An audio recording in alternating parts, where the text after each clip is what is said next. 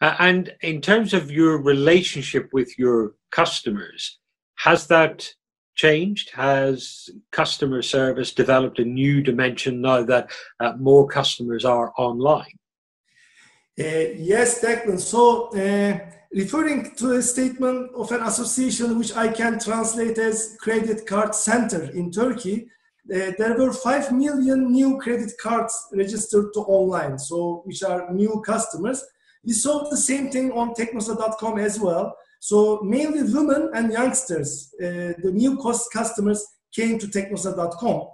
So um, thinking of that, so we thought that uh, looking at our uh, data as well. So they were really new uh, at the online. So maybe they would make their very very first uh, online shopping. So that's why uh, thinking of that, uh, we increased our number of staff in, in live chat. So and also I, I, say it's a real combination of online and online because these guys at the live chat were our and still uh, are our best sales consultants. So this is a real online and offline business, uh, but it helped a lot, by the way. Uh, so we supported them on on uh, purchase and after sales, deliveries, etc.